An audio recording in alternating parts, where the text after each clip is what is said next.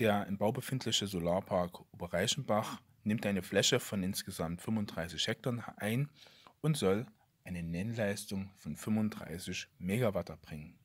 Das ist etwa so viel wie 5% der Leistung eines Kernkraftwerkes oder zum Vergleich erneuerbare Energien etwa so viel wie sechs große Windkraftanlagen an Leistung erbringen.